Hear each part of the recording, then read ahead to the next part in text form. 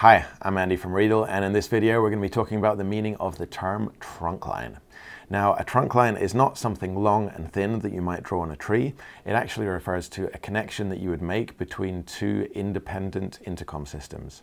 Now, the trunk line is the connection between these systems, and typically you would have fewer trunk lines than each system has users. The connection that we use between the systems can take pretty much any kind of audio format. It can be a regular phone line, a VoIP connection, a satellite link, VHF radio, it could be XLR with analog audio, doesn't really matter. The point is that we have one independent system, to the other side we have another independent system, and then we have the trunk lines linking them. The trunk lines are dynamically assigned, which means that you're only making use of a trunk line when there's an active audio connection.